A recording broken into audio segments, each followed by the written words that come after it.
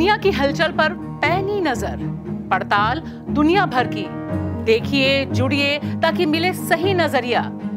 जानने और खोजने का, समझने का कि क्या चल रहा है। आसपास और सात समंदर पार। आखिर हम हैं ग्लोबल सिटीजन। नमस्कार।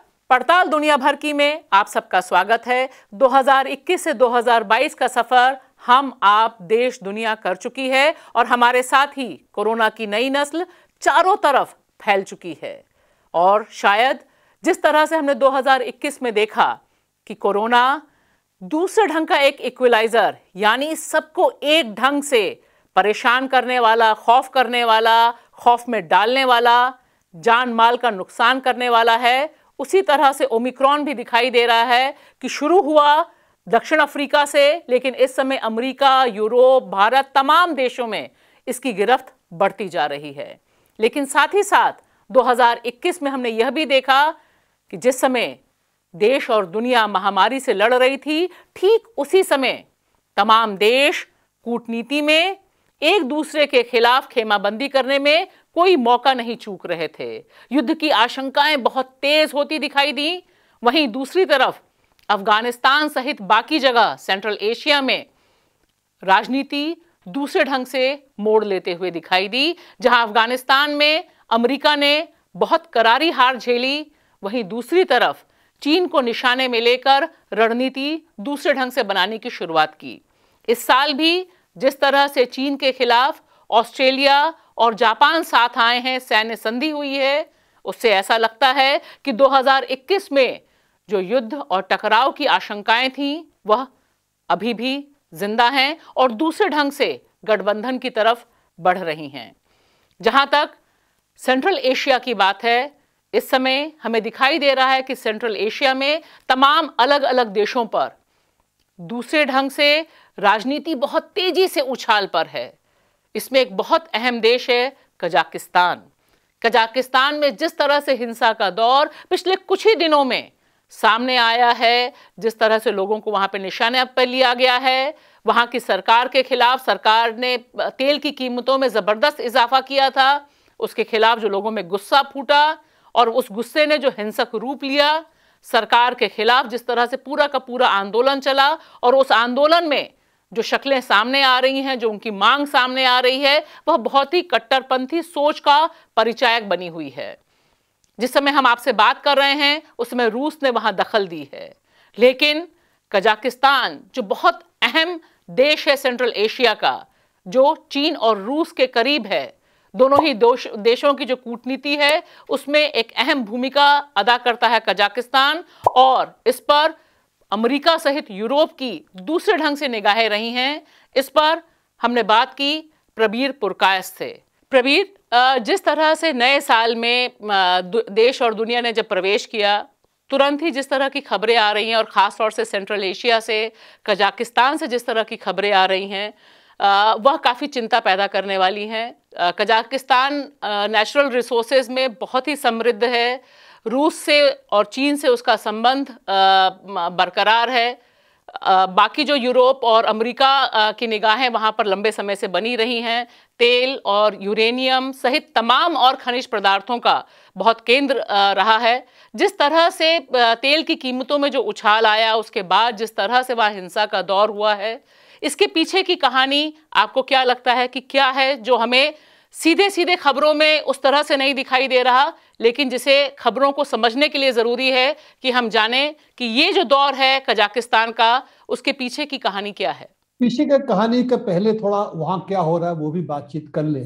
क्योंकि इस वक्त वहाँ पर करीब 18 पुलिस या सिक्योरिटी फोर्सेस की मौत हुई है, जिसमें कहा जा रहा है, एकदम कंफर्म तो ये है, एक की सर काटी गई है, हो सकता वो दो की सर काटी गई है, मैं अल जजीरा की खबर बता रहा हूँ। दूसरे न्यूज़ न्यूज़ चैनल से भी कुछ इसी तरह का खबर आ रहा है। बड़े पैमाने जो हिंसा हुई है, आलमाटी शहर में हुई है, सबसे बड़ा शहर है उसमें का, कजाकिस्तान का, और उसमें आपका जो कैपिटल है, उसमें अभी भी इस तरह का कोई खबर नहीं है, पर यह हकीकत है कि लगता है कि कजाकिस्तान में कुछ हद तक अस्थिरता इस वक्त है, और वो तेल के दाम बढ़ने की वजह से शुरू हुआ है, पर उस, इस वक्त काफ़ी बहुत सारे ऐसे डिमांड्स आ रहे हैं जिससे उसमें राजनीतिक शक्तियाँ भी इसमें काफ़ी शामिल है, जो कुछ हद तक वहाँ की जो राजनीतिक परिस्थिति है उसको बदलना चाहते हैं। उन्होंने कहा है कि सरकार इस्तीफा दे और इसमें एक सेक्शन के ये भी कहना है कि बहुत सारे शादियों को मर्द करने की उसमें अधिकार होनी चाहिए और ये भी डिमांड में से एक है कि रूस के साथ जो सामरिक शक्ति चुक्ति वगैरह हुई है वो सब रद्द कर दिया जाए। और इकोनॉमिक जो हमारी एक यूनियन है दूसरे मुल्कों के साथ आसपास के मुल्कों से उससे भी निकला जाए। तो इसमें साफ़ यह है कि कुछ राजनीतिक शक्तियाँ इसमें शामिल है। क्या ये कलर रेवोल्यूशन कह सकते हैं या और कुछ है वो भी देखने की बात है। शुरुआत जब हुई पर ये और किसी मोड़, किसी तरह इसका मोड़ जा रहा है। क्योंकि जब हम और आप बात कर रहे हैं, उस समय रूस ने भी अपने सैन्य दस्ते भेजे हैं वहाँ पर हस्तक्षेप करने के लिए और वहाँ के जो शासक हैं, उन्होंने भी मदद मांगी थी। तमाम अलग अलग ढंग के बयान भी हैं। तो ये जो रूस की मदद का जाना और उसके बाद से कैपिटल को भी दूसरे ढंग से जो देख रहे हैं लोग, वो क्या, क्यों ऐसी स्थिति आई कि रूस को हस्तक्षेप करना पड़ा, रूस से सैन्य मदद गई? देखिए, जब अस्थिरता हाथ से बाहर जाने की संभावना दिखी, तब उन्होंने, उनकी जो प्रेसिडेंट है, कासिम तो उन्होंने अपील की जो एस देश हैं और ख़ासतौर से रूस से और रूस के साथ और भी एक दो मुल्कों की उन्होंने मदद मांगी। और ये मदद जब पहुँची है, अलमाटी पहुँची है, तब लगता है कि वो अभी नियंत्रण के उस नियंत्रण में आ रहा है। तो ये क्या सिर्फ़ एक बहुत बड़ा कुछ होने वाला था जिसको रोक दिया गया है? ये अभी कुछ हद तक सिविल वॉर की तरफ़ जाएगा, देखने की बात है। पर इसके आप जो पिछले की बात बता रहे थे कि यहाँ पर नूर सुल्तान नजरबेफ के करीब सोवियत यूनियन की पतन के बाद उनका इस जगहों, इस जगह पे, काजकिस्तान पे पूरा उसका कंट्रोल था। और उन्होंने कासिम तोकाएव जो अभी प्रेसिडेंट बने हैं, उनके हाथ में सत्ता तो सौंप दी। पर अभी भी संपत्ति और कंट्रोल उन्हीं के पास है। कंट्रोल उन्हीं के पास है। तो कासिम जो का तोकाएव ने घोषणा जो की है नूर सुल्तान नजरबेव के जो अभी भी उनकी कुछ पावर्स थी सिक्योरिटी काउंसिल के हेड वगैरह वो खत्म कर दी है। इसके बाद क्या होगा देखने की बात है।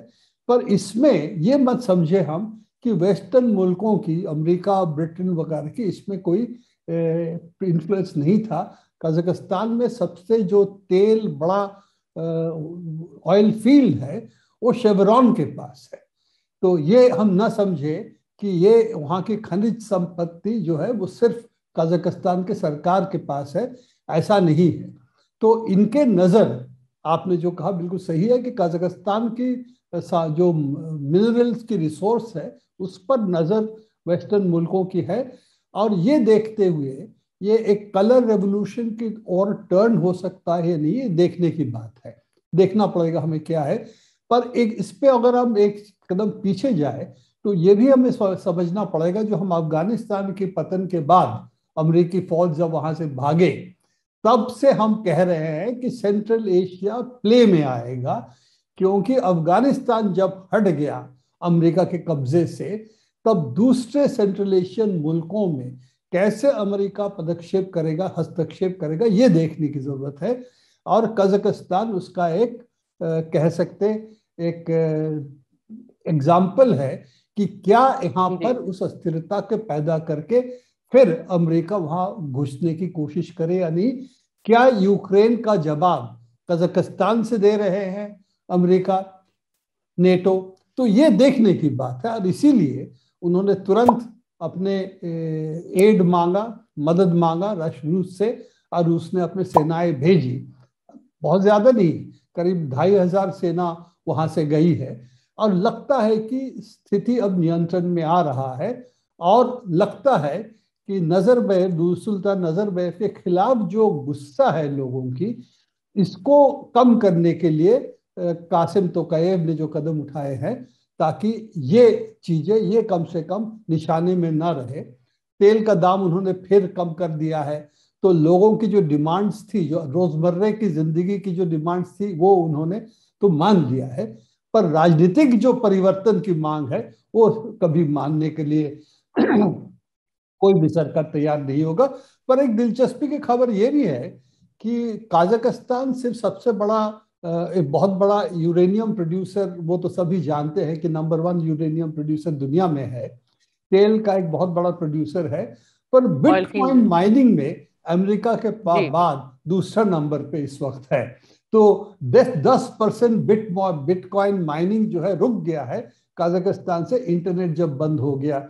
और इस ये भी देखना पड़ेगा कि इसका देश के अंदर इसका क्या असर पड़ेगा क्योंकि एक हिस्सा जो बिटकॉइन माइनिंग कर रहा था, वो इससे काफ़ी परेशान ज़रूर होगा कि बिटकॉइन माइनिंग बंद हो गया। एक आखिरी चीज़ जो मैं जिसकी तरफ़ आपका ध्यान दिलाना चाहूँगी कि जब हम कजाकिस्तान की बात कर रहे हैं तो जिस तरह से चीन और रूस के जो पूरा के मैप में भी हमें दिखाई दे रहा है, नक्शे में दिखाई दे रहा है कि सेंट्रल एशिया में चीन रूस, यूरोप और जो पूरा का ज़मीनी रास्ता है, इसको कनेक्ट करने के लिए एक बहुत अहम देश की भूमिका में है। चीन ने जो पूरी की पूरी अपनी रेल पटरी और रोड यात्रा निकाली है पूरा रास्ता निकाला है, वो भी कजाकिस्तान उसका एक अहम हिस्सा है। ऐसे में जिस तरह से ये पूरा का पूरा गुस्सा बाहर आया है और तेल वाला जो मुद्दा आया है वो जो कनेक्ट्स हैं इसके आर्थिक हित और जो कूटनीतिक हित हैं क्योंकि कजाकिस्तान रूस और चीन के बहुत करीब आ, माना जाता है। सोवियत संघ के विघटन के बाद सिर्फ़ इकलौता यही देश है जहाँ पर पिछले तीस सालों से इक्यानवे से लेकर अभी तक जो शासन है वो तकरीबन लाल के आसपास है। मैं लाल के आसपास तो नहीं मानता हूँ, क्योंकि वो तेल का जो फ़ायदा है, कितना कजाकिस्तान के लोगों को पहुँचा है, कितना ओलिगार्कों को पहुँचा है, ये तो देखने की बात है।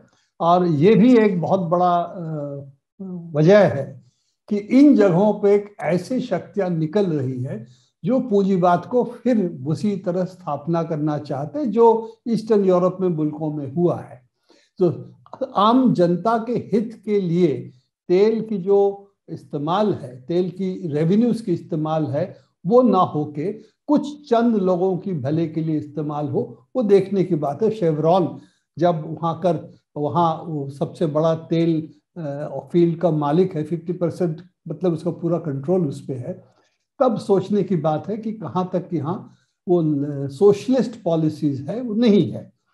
पर अमेरिका की ये पहले से ही रुझान रही है कि सेंट्रल एशिया को कैसे हमारे हाथ में ले आए। उसके लिए इन्हें कई मुल्कों में इन्होंने अपने सामरिक अड्डे वहाँ पर लगाए थे, वो बेसिस उनके थे। वो धीरे धीरे कमज़ोर हो रहा है और अफ़गानिस्तान के पतन के बाद वो और भी कमज़ोर होगा। और जैसे यूरेशिया की एक यूनिटी बन रही है इकोनॉमिक आर्थिक रूप में जो यूनिटी बन रही है, वो बेल्ट रोड इनिशिएटिव की केंद्र करके ही बन रही है। तो इसीलिए यहाँ अस्थिरता पैदा करना, ये नेटो शक्तियों की एक चाल हो सकती है। और हमें मानना चाहिए मानना चाहिए कि इस तरह के कुछ वहाँ होगा तो इसमें ये लोग खेलेंगे। दूसरी बात यह भी है कि इस्लामिक जो तथाकथित इस्लामिक फोर्सेस, क्योंकि ये सही माने में इस्लामिक धर्मीय नहीं है। ये तो राजनीतिक शक्तियाँ इस्लाम को एक मुखौटा बना के लड़ते हैं। तो इनकी जो गतिविधि है, वो सेंट्रल एशिया में रहेगी और पहले से भी थी। तो उन शक्तियों को कैसे विरोध करेंगे, वो देखने की बात है, क्योंकि जो बिहेडिंग की बात आ रही है, कई शादियाँ करने की डिमांड की जा रही है। रूस से सामरिक चुक्ति पैक्ट को खारिज करने की डिमांड आ रही है। तो ये सब देखते हुए लगता है कि इसके पीछे ऐसे ताकतें भी है पर टर्की इसने इसमें शामिल नहीं है। टर्की सरासर कहा है? हम कजाकिस्तान के सरकार के साथ है। तो देखने देखने वाली बात है इस पर कौन कौन सी शक्तियाँ हैं? कुछ चंद दिनों में साफ़ हो जाएगा। अभी तो दो ही तीन दिन हुआ है। चंद दिनों में वो भी साफ़ हो जाएगा। पे हम निगाह बनाए रखेंगे? आ, इसके साथ साथ जो इस समय देश और दुनिया में सबसे बड़ी खबर है वो ओमिक्रॉन है। कोरोना का जो की जो नई नस्ल आई है जिसने पूरी दुनिया को एक बार फिर दूसरे ढंग से अपनी गिरफ्त में लिया है। जिस समय हम आपसे बात कर रहे हैं नए साल में जब दुनिया ने प्रवेश किया उस समय इतना बड़ा इतने बड़े पैमाने पर इतनी तेज़ी से भारत सहित तमाम देशों में यह फैलेगा इसकी आशंका तो जताई जा रही थी, लेकिन ग्राफ बहुत तेज़ी से फैल रहा है इसका। आज की तारीख में आपको क्या लगता है कि ये जो पिछला वायरेंट था उससे तेज फैला है? कितना बड़ा पैमाने पर ये खतरा है देश और दुनिया के लिए? देखिए, पहली बात, जिस रफ्तार से ये ओमिक्रॉन की ये नस्ल फैल रही है ये किसी भी और नस्ल से ज़्यादा संक्रामक है। इसमें कोई दो राय नहीं है कि इन्फेक्शन करने की ताकत ट्रांसमिशन जिसे कहते हैं ये करने की ता, ताकत इसमें और सब नस्लों से काफ़ी ज़्यादा है। इसका मतलब जब ग्राफ ऊपर चलने लगती है नंबर्स बढ़ने लगती है ये करीब करीब वर्टिकली ऊपर जा रही है। दूसरे मुल्कों में भी भी देखे हमारे यहाँ भी, भी देखे ग्राफ बड़े तेज़ी से एकदम टेक ऑफ़ करती है कि संख्या बहुत तेज़ी से बढ़ती है। ये मुल्क के हिसाब से न देखें, शहरों के हिसाब से देखें, क्योंकि फैलता तो है एक दूसरे के संबंध से ही तो देश के हिसाब से नहीं फैलेगा, ये जगहों पर फैलेगा। और अगर इस वक्त देखें तो मुंबई, दिल्ली, कलकत्ता तीन शहरों में बड़ी तेज़ी से इसकी बढ़त दिखाई देखने को मिल रहा है। तो ये देखते हुए साफ़ है कि संख्या डेल्टा से काफ़ी आगे जाएगा। थर्ड जो वेव विजय राघवन साहब ने जो साइंटिफिक एडवाइजर टू पीएम है, उन्होंने पहले ही कहा था सेकेंड वेव के वक्त, कि तीसरा वेव भी आएगा। ये तीसरा वेव वो है और ये बहुत तेज़ी से फैलेगा। इसका असर जो है, इतना सीरियस बीमारी पैदा नहीं करता, सही है कि अगर सौ लोग बीमार पड़ेंगे, उसमें से जितने लोग पहले डेल्टा में सीरियस बीमार पड़ रहे थे उतना अस्पताल जाना पड़ रहा था ऑक्सीजन पड़ेंगे। पर अगर दस गुना ज़्यादा बीमार पड़ते हैं तो संख्या वही हो जाएगी अस्पताल में पहुँचने की। और जिस तेज़ी से यह बढ़ रहा है दूसरे देशों में हम उसका तस्वीर देख ही रहे हैं तो अस्पताल में प्रेशर अस्पताल में प्रेशर काफ़ी बढ़ रहा है। वैक्सीन जो जिन्होंने नहीं लिया है जो अनवैक्सीनेटेड पॉपुलेशन है चाहे अमेरिका हो चाहे यूरोप हो जो हमारे यहाँ हो हमारे यहाँ भी काफ़ी अभी भी अनवैक्सीनेटेड दो डोज नहीं मिला है बहुतों को। तो वहाँ पर सीरियस बीमारी होने की खतरा है। अस्पताल में जो पहुँच रहे हैं स्टैटिस्टिक्स आंकड़े को देखते हुए लगता है ज़्यादा ज़्यादा अनवैक्सीनेटेड लोग जो है सीरियस बीमार सीरियस बीमार सीरियसली बीमार पड़ रहे हैं। पर जो वैक्सीनेटेड है उनके अंदर अस्पताल पहुँचने के बावजूद भी बहुत सीरियस इंटेंसिव केयर में पहुँचने वाला स्थिति नहीं आ रहा है।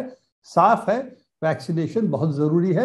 आने वाले दिन अभी कम से कम दो हफ़्ते, एक महीना तक जो ओमिक्रॉन है, उसका ग्राफ तमाम देशों में अपने अपने हिसाब से अभी बढ़ेगा और इस खतरे को हमें झेलना होगा और आप जैसा कह रहे हैं कि इसके लिए बुनियादी स्वास्थ्य सुविधाओं को मज़बूत करना, उसके ढांचे को मज़बूत करना बुनियादी काम होना चाहिए तमाम सरकारों का।